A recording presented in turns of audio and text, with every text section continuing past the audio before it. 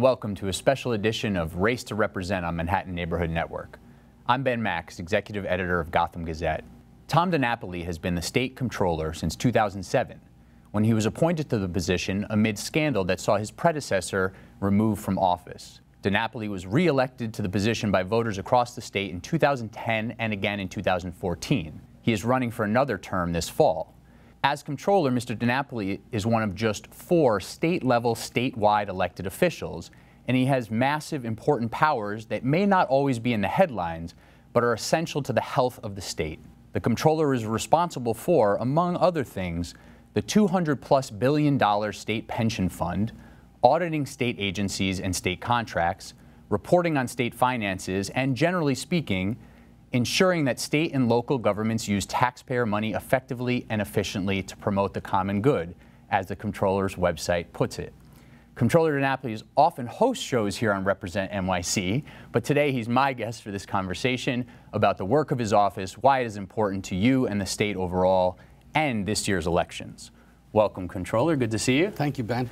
Um, so I captured a little bit of the power scope of the office, but how do you put it? How do you yeah. capture what the state comptroller does? Yeah. I think you did a good job on, on, certainly some of the main areas that we focus on. I always say I have the best job in state government, the one that most people don't know a lot about what we do. We are the Office of Accountability, and I think especially uh, as we navigate through continuing challenging times, how money's being spent, taxpayers are very, very concerned about that. Issues of transparency, of openness, uh, so those are, I, I, think, the, the underpinnings of, of the overall work that we do. So that accountability agenda certainly uh, is referenced in the work we do with our audits, you know, as you mentioned. So we audit state agencies. We audit, um, not quite the same uh, uh, ability, uh, but public authorities, state and local uh, public authorities, and then local governments. New York City, although in the city you have an independently elected city comptroller that does much of that work, but we do some audits in the city as well, and certainly local governments uh, outside of New York City. So I always try to remind people we don't decide how the money is going to be spent in terms of what program areas get what amount of dollars.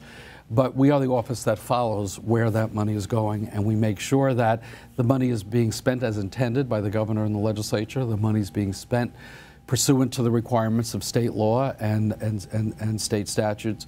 So that's a big part of, of our workforce, a big part of what we do. We approve uh, state contracts. So if you're a, a, business or a vendor and you have a, a, a contract with the state, you're a nonprofit and you're providing services that you're getting money uh, for from the state, or you're a local government getting a grant, we are the office that would review uh, the merits of the contract, and then we, we follow through on, on the payments as well. We do the nuts and bolts uh, back office operation. We pay uh, state employees. We make sure they get their paycheck, and we process all payments for the state. That's another opportunity for oversight making sure that the state's not being defrauded in those cases.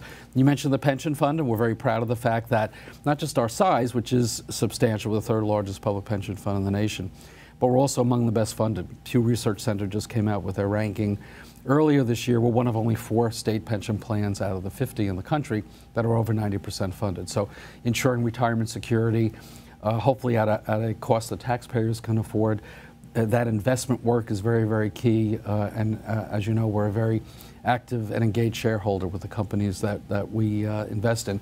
Commenting on state fiscal practices, but also, uh, which you referenced, but also looking at broader policy issues. So we have done white papers or research reports on issues like uh, affordable housing in the state, disparate health care outcomes, finding too many cases where communities of color fall behind uh, other communities in terms of, of outcomes on asthma, diabetes, obesity, and some other, some other measurements.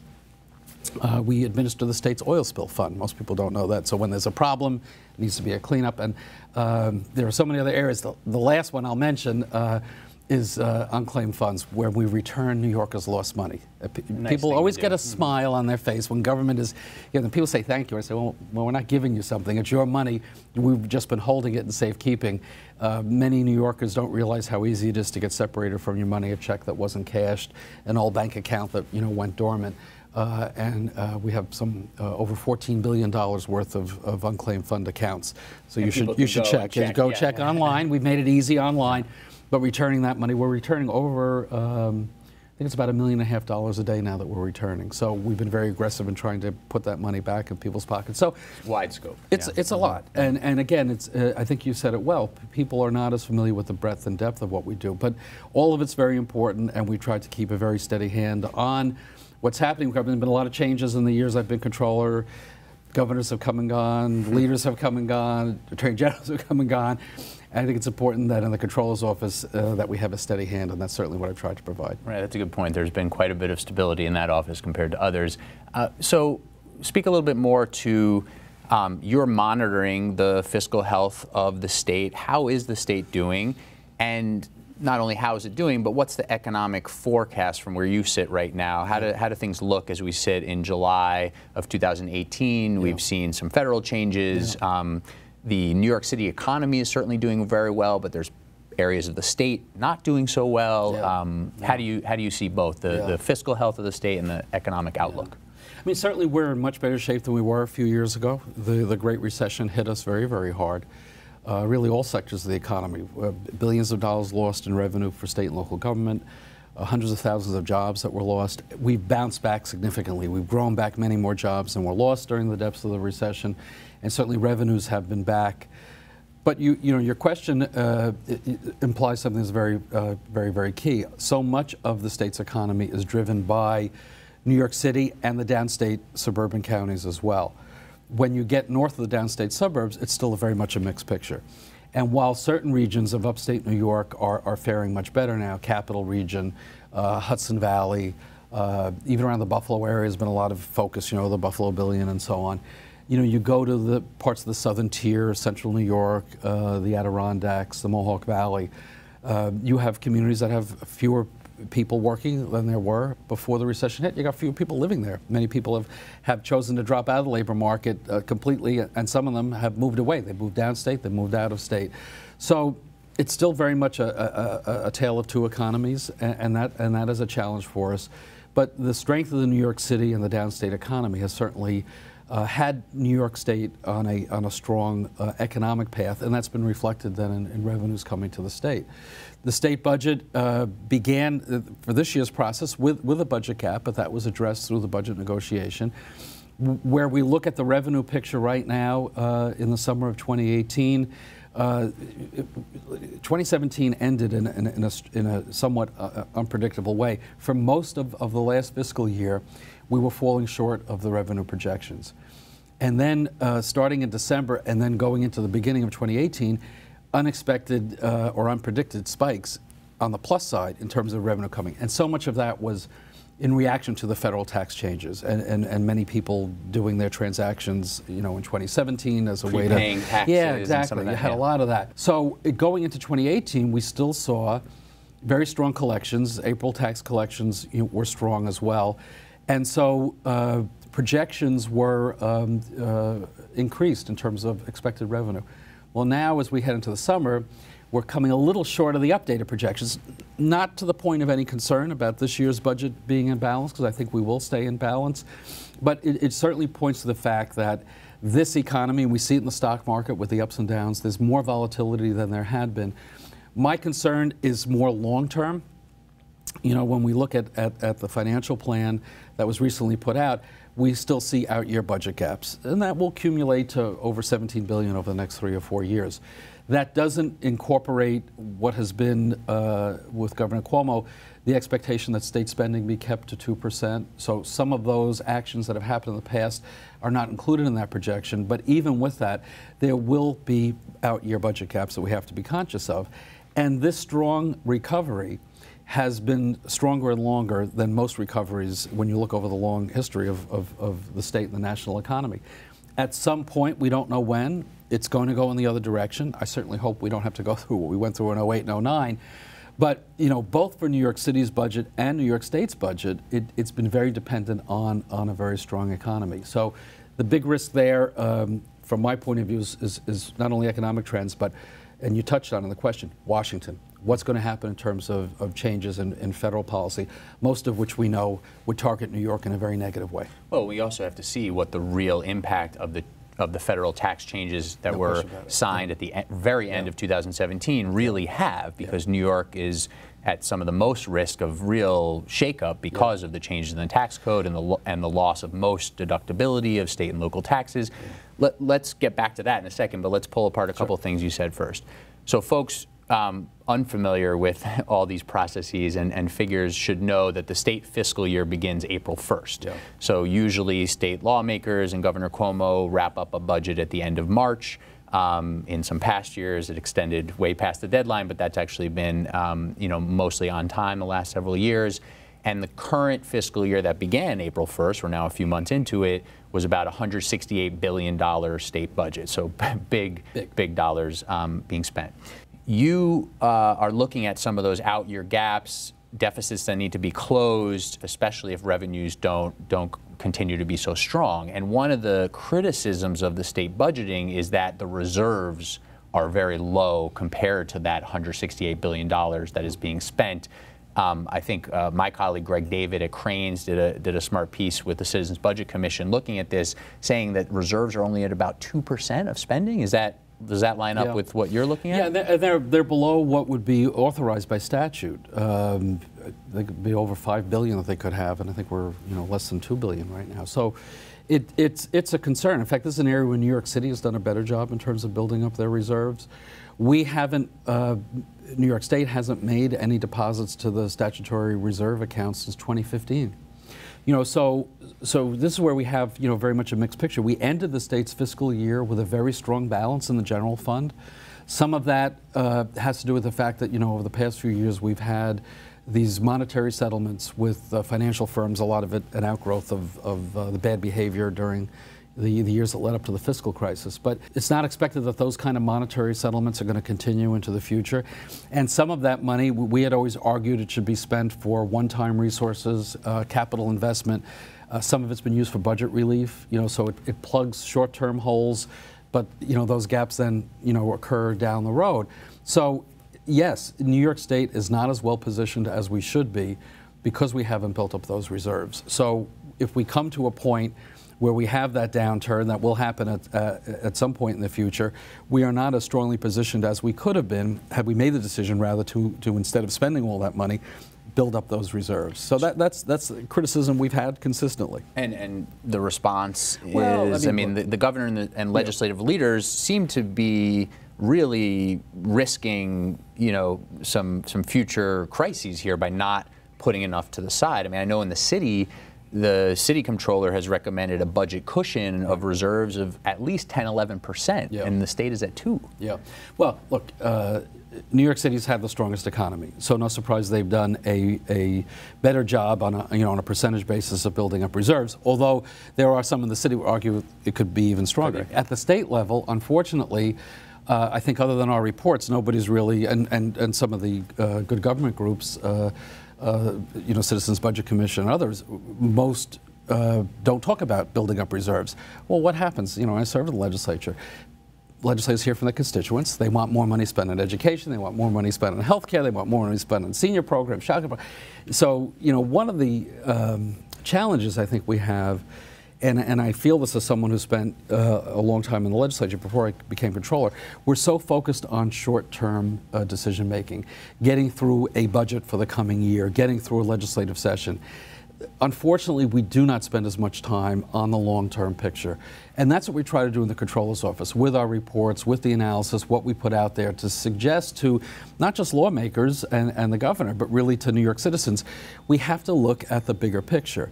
And, and you know, we're going to continue to sound uh, the concern. You know, the problem is I don't have any. You know, sometimes people say, well, Tom, you're comptroller, you should make them do this. Well, that's not you know, the, the job is not set up to be a decision maker in that regard. That really is the purview of the legislature and the governor.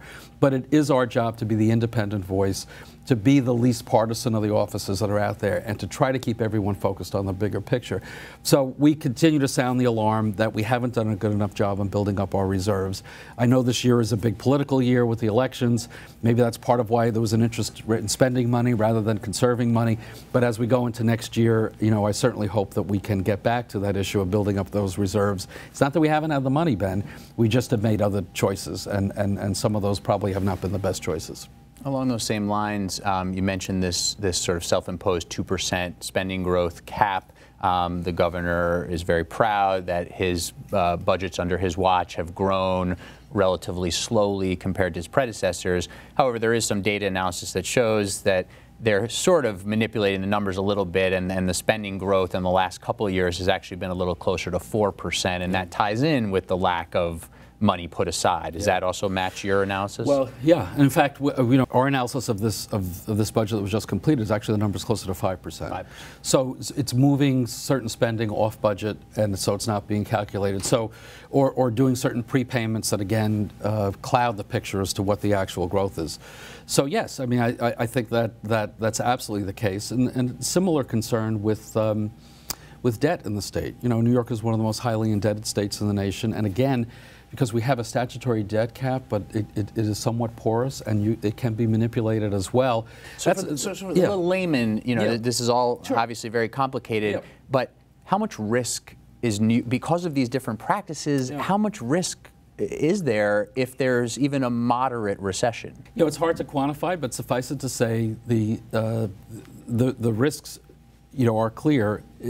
If we do have a recession, and it does result in revenues coming in significantly be below what's projected. We already have out year budget gaps that we have to deal with. If those gaps become even more significant, we don't have the cushion of the reserves to draw on. We are hitting close to our, our statutory uh, limit as far as debt and borrowing. So if you can't draw on reserves and you can't borrow your way out, which is not always the smartest thing anyway, what it's going to mean is tough choices on spending. And we've been through a phase like that, you know, in the not too distant past. So, so the risk is, is, is, is hard to quantify because when there is a downturn, we don't know how significant it's going to be and how New York will fare during that. But I think it's, it's, it's fair to say that, that as we head into the next budget cycle, we should be more conservative in our expectations on revenue. Need, need to be more conservative uh, as our expectations on spending as well because the other piece of it continues to be uh, that concern I touched on earlier the federal uh, policies. You know, this congressional uh, election in 2018 are going to be key. If, um, not, to, not to be partisan, but the reality is if President Trump gets a continued majority in the, in the Congress and in the Senate, the likelihood of there being continued attempts to change health care financing in the country, where New York has benefited significantly to the tune of billions of dollars with the Affordable Care Act, if that gets repealed or significantly uh, changed, if to pay for the, uh, the tax cuts, we are going to see cuts in entitlement programs, safety net programs, education programs, housing programs, uh, emergency response programs that would need to happen to pay for this, uh, this tax cut uh, it, New York could really suffer very, very significantly. So that to me is as important a concern, uh, the Trump policies, as the the economic cycle. And and we are not as strongly positioned to deal with all that as we like to be. So I'm hoping the elections will change the balance of power, at least somewhat, uh, put a check on some of those federal policies. And, and no one has a crystal ball about the economy. Some experts say, you know, there'll be a recession in a year two years. Some say not for another five years. Who knows? But with all the concerns that I identified, Ben, it, New York is still a very strong state in terms of our economy. And the reality is our, our economy, especially in the city, has become much more diver diversified.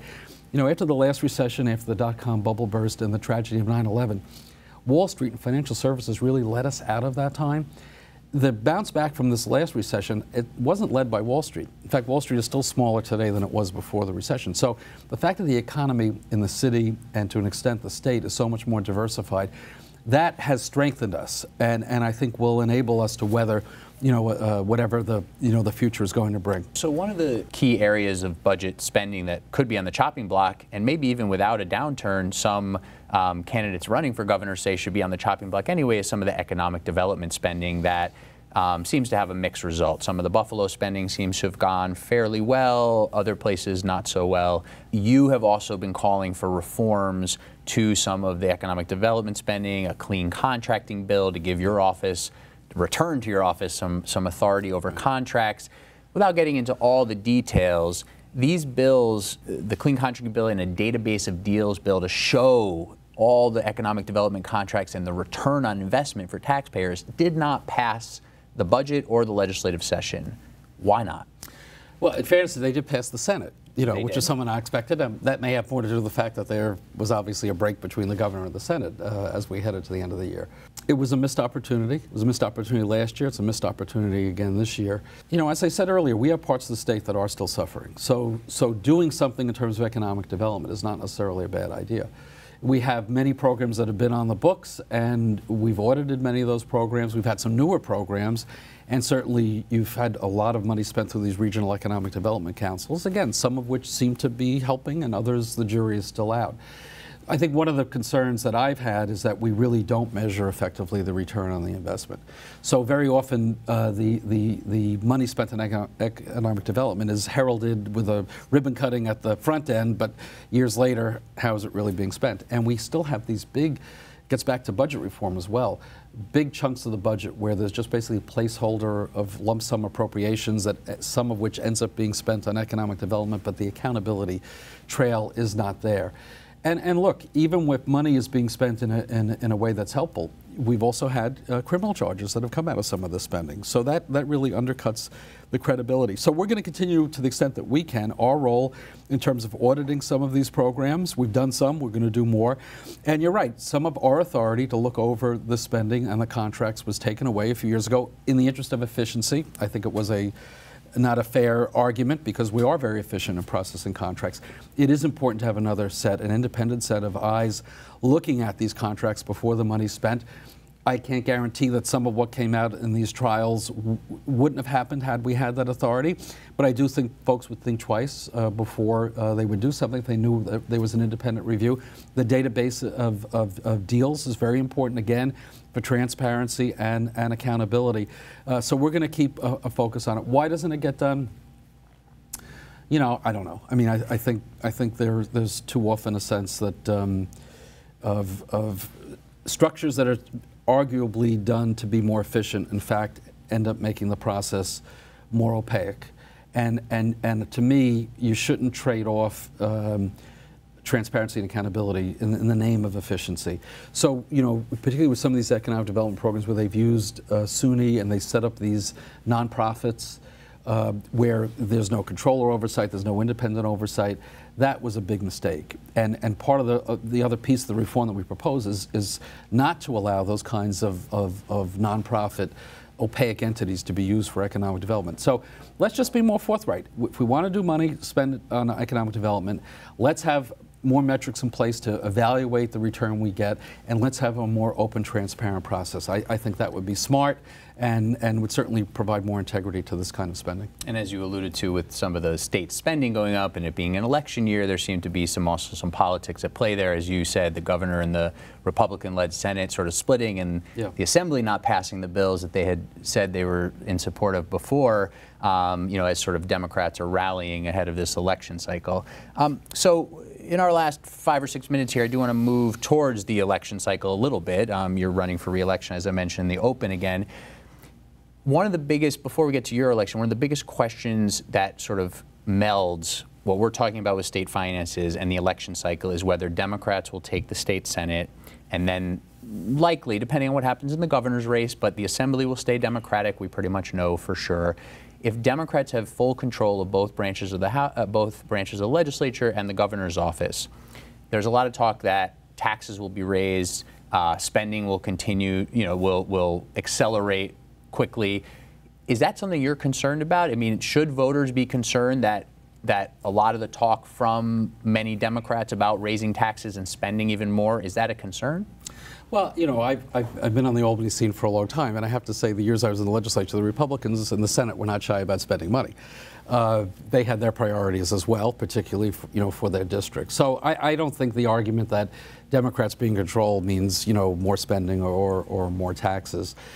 You know, the reality is that uh, so much of, of what's decided in Albany, whether it's in the budget or, or, or other debates, has to do with regional priorities. You know, so from my perspective, I do think there's a good chance the Democrats will, will win the Senate, and the fact that there's been this dysfunction, particularly with regard to the Republicans not even being able to have all their votes in place. That's why the session ended the way it did. I, I think the, the Democratic Party is will be a diverse party, and uh, the, the regional interests will will be, you know, the key focal point of debate. And, and, and I, you know, I live in Long Island, where traditionally there have been a lot of Republican senators versus Democratic ones, but the Democratic senators we have there now, they fight for their community uh, as much as a Republican senator will. So, you know, I think the message is for the voters evaluate the candidates, not just on their party label, but who they are. Um, and and, and I, I think that uh, Andrea Stewart Cousins, uh, who I've had the privilege to work with for a long time, she is a very responsible and inclusive uh, Senate leader. Some of the problems that happened the last time the Democrats were in charge, which didn't go so well, I don't think that's going to happen with Andrea Stewart Cousins. And I think it's important to point out that while much of her conference is from the five boroughs of New York City, she comes from Westchester. Right. She already has a broader statewide perspective, and uh, so yeah, I think I think uh, the Democrats in charge of the Senate is no reason to be alarmed, uh, and and you know that, that doesn't mean that people shouldn't evaluate the local candidates very very carefully. Somewhat on the other side of that picture, we're seeing a bit of a reckoning within the Democratic Party. We just saw uh, Representative Joe Crowley lose a primary pretty convincingly in a shocking fashion. Um, you mentioned you're from Long Island. Uh, Andrea Stewart Cousins, who may be the leader of the state senate, is from Westchester. You know, there's different pockets of the Democratic Party. Not everybody is a Bronx, Queens, Brooklyn, Manhattan Democrat. How do you see where the, the Democratic Party is right now in New York State, and where do you fit in? Well, the Democratic Party is strong. Uh, and I think the response to uh, the Trump presidency is making the party even stronger. I do think there are divisions within the party that are not only in response to the Trump presidency, but, but still somewhat of a hangover from the divide uh, two years ago between the, the Clinton campaign and the, and the Sanders campaign, which I actually thought had healed pretty well by the time Election Day came around. But once we lost, they seem to have, those wounds seem to have been reopened. Look, uh, you know, I grew up in a, in a, in a good Republican uh, neighborhood, in a good Republican household. And one of the reasons why I became a Democrat is that I felt the Democratic Party was more open and free flowing. That certainly is true right now. Uh, our party has a tradition of, of um, internal competition, and you know the challenge for Democrats always is not to spend all our time fighting each other because that's often how we end up losing elections in in, in November. Uh, so I, I think the Democratic Party is benefiting from the energy that's out there you're seeing a lot of young people um, want to get involved, more women wanting to step up to be candidates. All that, I think, is good. But I think we, we have to be um, concerned about not, not losing sight of what the real goal is. The real goal is not to beat each other up within the Democratic Party. The real goal is to win elections in November and deliver for people. One reason why I'm a Democrat is I feel the Democratic Party has always stood for the greatest good for the greatest number of people. And, and if we spend all our time fighting each other, and, and let the other side win, then we're not going to be able to deliver on that promise. So are primaries like Alexandria Ocasio-Cortez just waged against Joe Crowley winning and Cynthia Nixon waging against Governor Cuomo and so on, are those bad for the party or good for the party? You know, I, I think honest, open competition is always good. But, you know, again, after the primary is over, do you come together? So in the case of the gubernatorial primary, will Cynthia Nixon still run on the working family side? I don't know the answer to that. You saw Stephanie Miner, former co-chair of the Democratic Party, trying to now start her own own line. So all of that has the potential to, to, dilute, you know, the vote, the Democratic vote for for governor, and that obviously is the you know the key lead-in race that will affect the rest of us down down down the ticket. So, you know, I do think there is a certain stridency, um, which is the flip side of that ener positive energy, it, it, when it becomes too strident and it becomes divisive even internally. Look, the national discourse is so divisive and divided. We shouldn't be encouraging that within our own party. So if you want to talk about credentials, you want to talk about positions, you want to talk about experience, you want to talk about whatever you want to talk about, but don't make it a, a, a, so negative on, on the other on the other side. And lastly, as we as we wrap up, in the primaries for uh, the other statewide positions, are you backing uh, certain candidates? I am backing uh, Governor Cuomo and Lieutenant Governor Kathy Hochul. I haven't uh, uh, done an endorsement in the Attorney General race. Uh, you have four candidates. They're all friends of mine. They're all good people. so we'll see how that one goes. Okay. Well, Unfortunately, that's all the time we have, but I appreciate the conversation. thank you. thank you to State Comptroller Tom DiNapoli for joining me here today, and thank you for watching this edition of Race to Represent on Manhattan Neighborhood Network. I'm Ben Max. Goodbye.